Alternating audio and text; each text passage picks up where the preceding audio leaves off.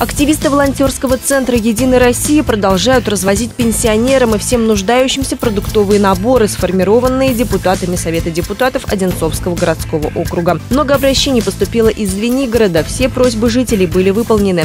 Добровольцы ходят за продуктами в аптеку. Для людей старшего возраста выгуливают собак. Кроме того, ведут информационно-разъяснительную работу. За три недели к волонтерскому движению присоединилось уже более 250 человек.